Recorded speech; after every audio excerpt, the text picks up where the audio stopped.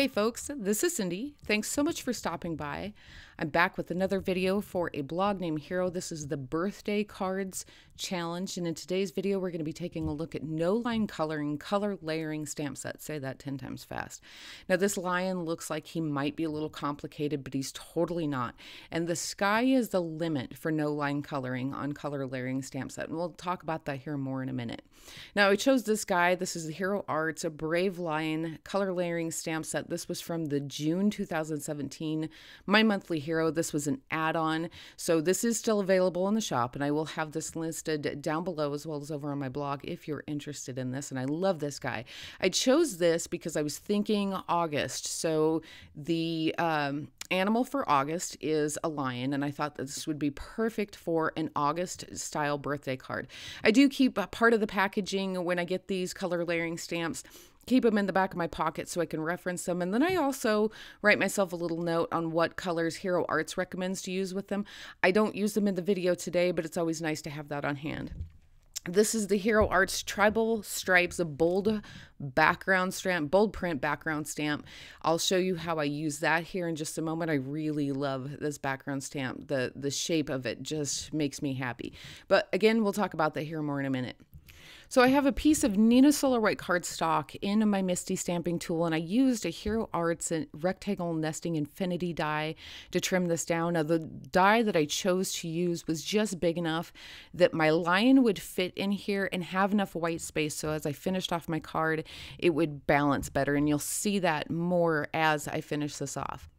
I wanted my lion to have a little bow here, so I need to stamp that first. So it looks like he's it's sitting in front of the lion, so it actually look like it would be around the lion's neck and up front. So I have the first layer of my lion. This would be the largest stamp out of the three in the set. I have that on my panel. I have the bow placed on top of that, and then I have the sentiment underneath it just to give myself an idea of where all of my placement is going to be. I'm going to pick this up with the door of my MISTI and I'm going to take off that first layer of the lion as well as the sentiment and leave the bow. Now, because this is going to be no line coloring, you could use any colors you want. I wanted my bow to be green. I thought that would match the colors of my lion really well and the colors of my card base really well. So I chose a green. I am going to use the Hero Arts soft green. This doesn't need to be perfect, folks, because we are going to be coloring over the top of it. And I don't care if it's not perfectly stamped. Like the second layer here on the bow, it's not perfect. And in fact, I could have skipped it and just kind of drew in my own lines. I kind of end up doing that anyways, but it's not a big deal. It's on there. And as you can see, I'm like, yeah, it's not, it's okay. But it's fine. We're going to move on. I did place some masking paper over the top of that. Now I can place the first layer of my lion back on my panel and start getting that stamped. This is Hero Art Soft Vanilla. Now, this is going to be the only layer on the lion that I do double stamp. And I double stamp this because this soft vanilla is a really light ink, which is perfect for no line coloring. However, it is so light that I wouldn't be able to see how I could line up the other layers of my stamp. So, and I show you right here where I need to have the second layer of the lion lined up perfectly with that first one. Otherwise, it's going to be off and it's going to make our job so much more difficult in order to color it later. I'm going to stamp the second layer in soft brown ink. I chose all of these inks because they were light and soft, and once I colored over the top of them, you'll never know that I had a dye ink underneath it. Now I have the third layer. I am going to use the Hero Arts Cup of Joe ink. This one is a little bit darker. It's not so dark that it's going to interfere with any of my coloring, but it does give me a good base on where I want to start my coloring. I also stamped the sentiment in the Hero Arts Cup of Joe as well because I thought that would look great. You could heat emboss that if you would like. I'm just going to go straight up with the Cup of Joe and call it a day. Now I'm going to start coloring my lion. I was actually playing around with a few colors before I decided on what colors I wanted to use, and that's fine. The beauty of Copics is you can go over the top of them and you will never know that you had another color underneath it. So I'm starting with the E25. I do map out my shadows with this color. I end up deciding it's not quite as dark as I want to go, so I do end up bringing in the E29. At this point, I'm literally tracing over the top of the lines that are already there. Once I get those in, I do start taking some creative license and I kind of start coloring in into my own lines, kind of bringing colors out more towards the edge of that mane, making it look a little bit fuller, making it look like it has quite a bit more movement, uh, a little bit more dimension and depth to it. But to begin with, I'm just going to be a little conservative here, kind of give myself a plan, decide which direction I'm going to go so it doesn't get ruined. I'm going to show you this first color here in real time, and then I am going to speed this up. Now, overall, this card probably took, uh, I would say, probably about 45 minutes to put together. I did have about an hour uh, worth of footage, but some of that time was spent me trying to find where some of my supplies are. Everything's still kind of a mess. So, from the move. So, I'm still trying to look for everything. It didn't actually take that long. However, I did want to give you guys the opportunity to see some of this in real time. I know that you guys that follow me really love to see some of this real time footage, but I also need to be able to get it down into a more manageable video. So I'll show you this first one in real time and then I'm going to speed it up because really at the end of the day, after I really get down my first layer here, I just, after that, I just kind of go for the gold. There's no rhyme or reason to it, really. But again, we'll talk about that here more in a minute. So, no line coloring on color layering stamps. You could use anything you wanted any color layering stamp you wanted. There really is no limit to it other than your comfort zone. Now, that being said, I strongly recommend that you just pull out some color layering stamps and give it a shot. It's actually a lot easier than what you think because a lot of those uh, layers, a lot of those details are already done for you. You're just going to go over the top of them with whatever colors you you decide to go over the top of uh, top of them with. This lion is a really good example because his mane it's it's super easy. It's almost a no-brainer but he has some detail in his face and that's what i'm doing right now. I'm going in with my marker and i'm literally tracing over the top of that detail and i'll work at that detail until i get it where i want it so it doesn't look quite as flat is what the color layering stamp set itself would do. Now i love the look of a color layering stamp when they're all stamped out. If you just stamp it out straight up with your your inks, you're good to go. It looks amazing. However, being able to really kick it up a notch with your markers or even colored pencils, you could even do some color layering stamp sets would lend really well to watercolor. Anything, folks, you just, the sky's the limit. The only thing that's holding you back is you. So, now that I'm working on the details on his face, I'm just going in with a really, really light hand. I'm not going to overly commit to some of these areas because A, they're tiny, and B, I know that I'm using a dark marker. So I'm trying to be careful to keep it pretty clean, keep my lines really thin. So as I work on this, I can bring those lines out more, kind of fatten them up, really add in that depth and dimension and I'm also just kind of winging it. Like, I'm not 100% committed yet to what color scheme I'm going to use or what color combination I'm going to use. So, I'm just kind of going a little on the light handed side, give myself enough room here. And I also know that I don't need to completely finish this guy off with my Copics. I can bring in my colored pencils, and at some point, I do end up coming in with some Tri Plus fine liner pens.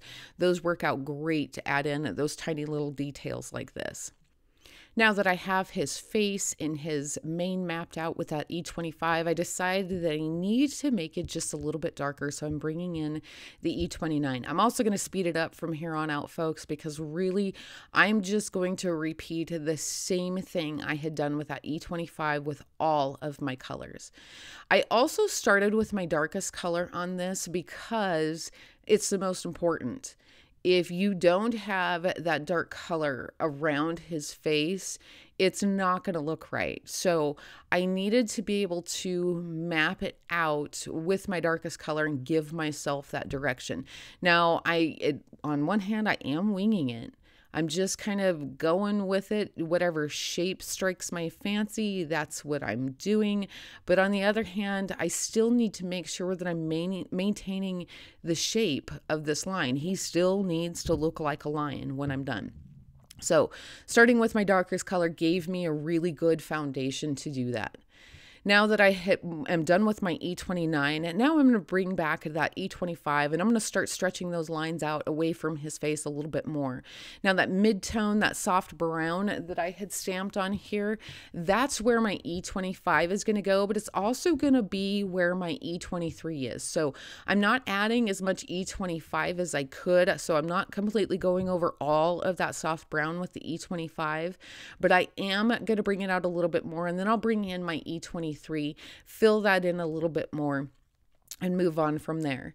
So I want the E25 to kind of stretch out towards the ends of this as well. Now, when it's stamped, it doesn't quite do that in all the areas. So here's at the point where I'm kind of taking my own creative license and just kind of eyeballing it. If I think a darker line will look good there, then I put it there. Now, on the very, very tips of this mane, it's mostly that soft vanilla ink, but occasionally I do come in with that E25 and I kind of add a little bit of flick there, so it kind of makes it a little bit more darker. By the time I'm done with this, this mane totally, it looks like the guy had his fur rubbed the wrong way, but it's fine. I like the way it turned out. I think it's fun. And this is really good practice for super simple Copic coloring. If you need to practice on like flicking motions or following the lines of something else, this would be really, really good practice for you. And it's super forgiving. So that's the other really fun thing about it. And you could stamp out a bunch of these and practice on them. You could even do uh, different colors. You could totally make this guy look like any color scheme you would like, and it would be awesome. All right, so now I'm bringing in that E23 and I'm just going to extend those lines uh, out a little bit further than what I had with the E25. Now at this point I've kind of decided that he's not quite as dark as I want him to be. E25, E23 are pretty close. There's a little bit of difference in color in them, but not a whole lot so I want him to read a little bit darker, but I'm going to finish up with this first before I do anything else. Now I had mapped out those shadows on his face with that E25. Now I'm bringing in the E23. I'm going over the top of that and I'm extending them out just a wee bit more. Now this is a tiny little area overall. So I am still trying to be pretty careful, but I need to start blending those out so his his face starts to smooth out a little bit more, but you can still see all those details in them. Again, I'm bringing the E23 out to those tips and kind of darkening the, those up a little bit. I don't want it to be so bright or light around the edge of his mane. I don't care about a light source. I suppose if you wanted to make him look like he had a light coming from behind him, you could leave those tips a lot lighter. I didn't, and I don't care that he has a light source. That's totally not the purpose of this. So now I'm going to bring in back in that E29 and I'm going to make those uh, ends just a wee bit darker yet, but I'm not adding as much of this as I did with the E25 and E23. I just need to bring them out a little bit further and you're going to see the difference it makes from that right side to the left side. I'm just kind of working my way around his mane. I actually wish I had extended his mane just a little bit more past that bow, but it's fine. It looks just fine in the end, no big deal. So I'm going to move around here and then I'm going to go in with my lightest color and start blending this out and calling it good. It, he really doesn't take a whole lot of work, folks. That is part of the reason why this was so much fun. Uh, and again, you could stamp out a bunch of these and you could uh, color up a bunch of these. These would also make really cool magnets. I was actually thinking about that when I was coloring this in, that you could uh, cut down your card panels. You could stamp a bunch of these. You could make some magnets out of them with the different sentiments from the stamp set, and they would make really great gifts. I think that'd be a lot of fun. All right, so now that I have that E29 done and I'm to call it good, I do want to add just a little bit more shadow in his face, in around his little chin there. Honestly, I think my most favorite part of this whole lion is his little chin. I don't even know why. I just think he has a great, he has a great chin. All right, so now I'm bringing in my E21 and I'm to blend this out. Now, the E21 is fine. It's a part of this blending group, so it's fine. However, I wish I had gone with something a little bit lighter yet.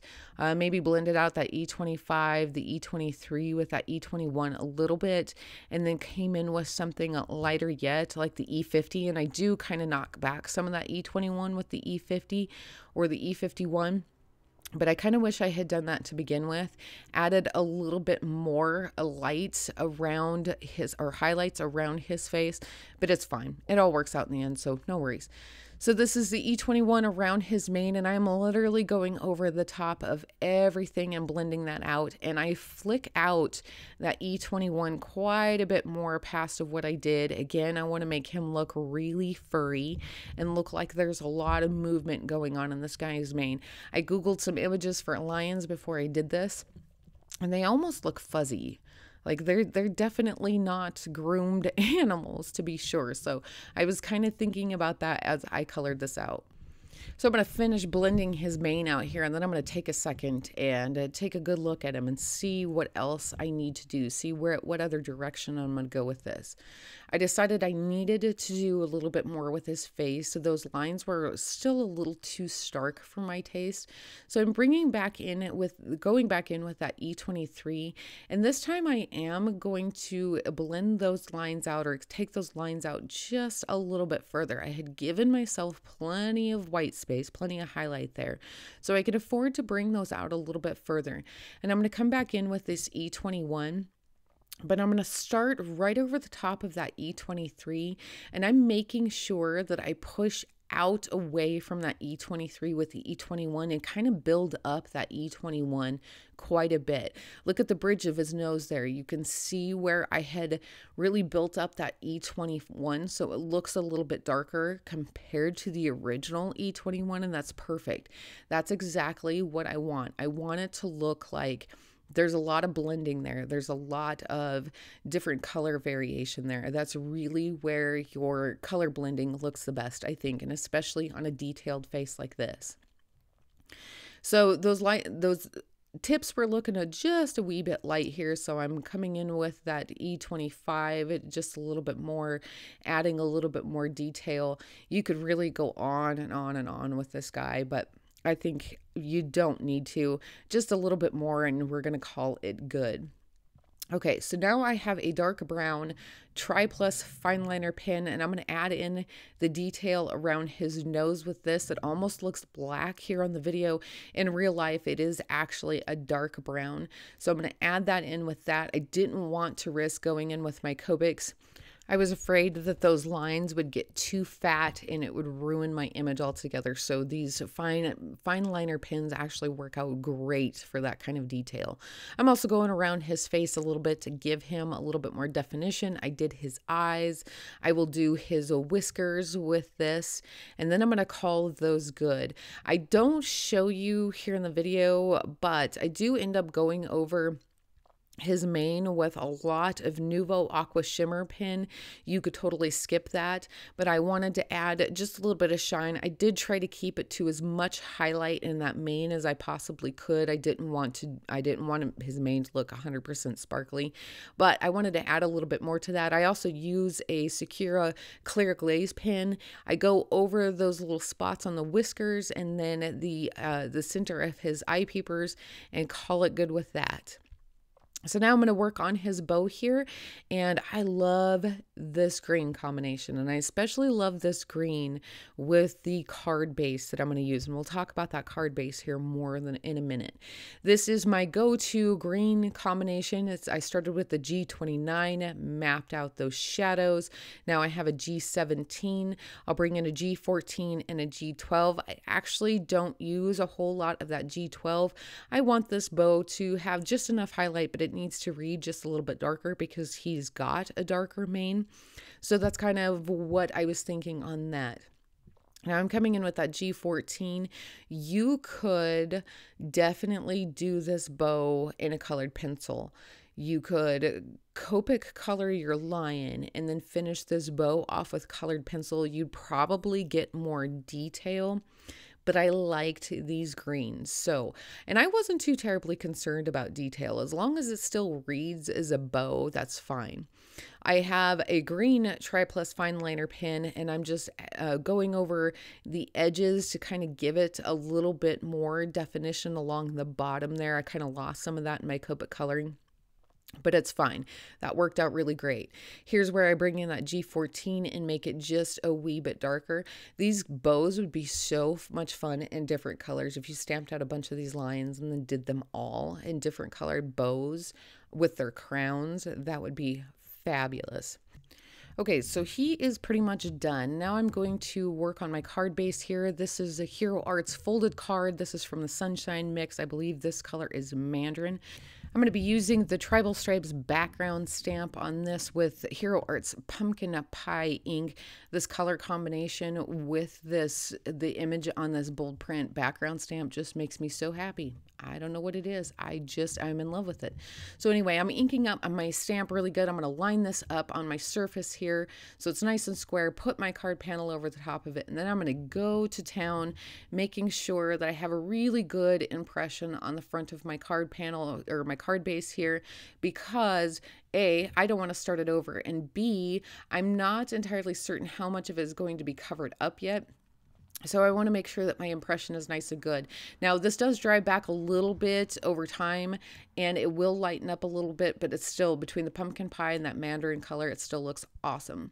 I decided that I want to matte my little lion here with the Cup of Joe ink since it complements the coloring in it and the sentiment. I thought that I would ink blend it and I left this in here to kind of show you the difference. Ink blending is always, always, always lighter, folks. I thought that I would do the ink blending on that, realized it was going to be way too light and way too time consuming to do that. So I decided to go direct to paper with that cup of joe. And again, that will dry back and lighten up over time as well. Now I want to pop my lion panel up here on some fun foam. I have some double-sided adhesive. I'm going to just use up some scraps. It doesn't need to be perfect, folks, as long as it's got even dimension and as long as it pretty much takes up almost the whole back of the panel for a good amount of support. Uh, it doesn't matter what they look like. Nobody's going to ever see it. So I'm going to use up some of those scraps, pop that up. Now I adhered it to, to my card base. I did stamp the sentiment from the Hero Arts mini everyday messages on the inside with Cup of Joe. I don't know if you can see it, but I kind of smeared it. I wasn't paying attention. I'm going to have to fix that later. But for the purposes of this video, it is done. It is good to go do be sure to head over to a blog name hero to see all of the inspiration we have for you this month for the blog name hero birthday cards challenge as always, we love it when you participate. There are prizes available, and we just totally enjoy seeing what you guys have to share with us. And we certainly enjoy sharing our eh, projects with you. I have more details and links down below, as well as over on my blog if you're interested in those.